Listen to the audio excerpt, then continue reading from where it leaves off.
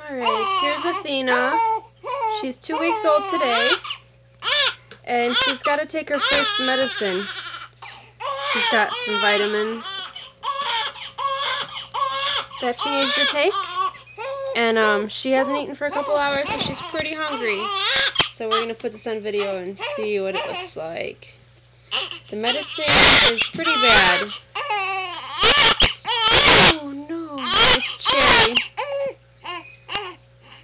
Oh, she likes it. You like that?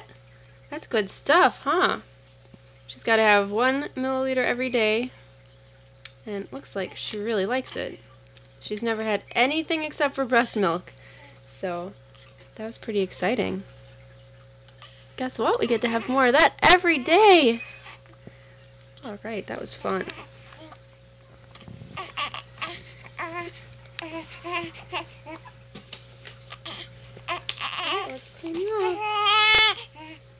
Okay. Ooh, now she's to have some lunch.